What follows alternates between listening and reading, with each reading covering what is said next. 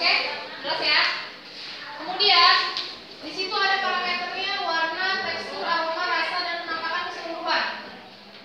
Untuk warna, kalian amati warnanya, suka atau tidak.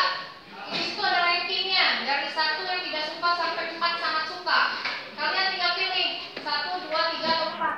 Kalau kalian tidak suka, silakan checklist eh, nomor satu. Eh,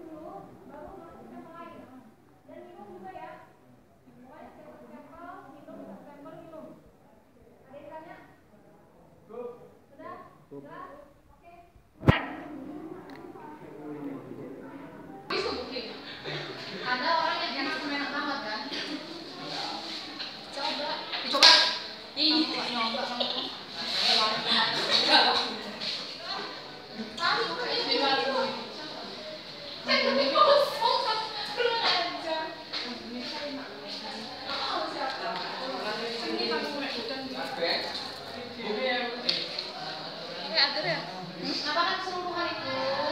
Dahil sa employees na ka. Dahil hmm.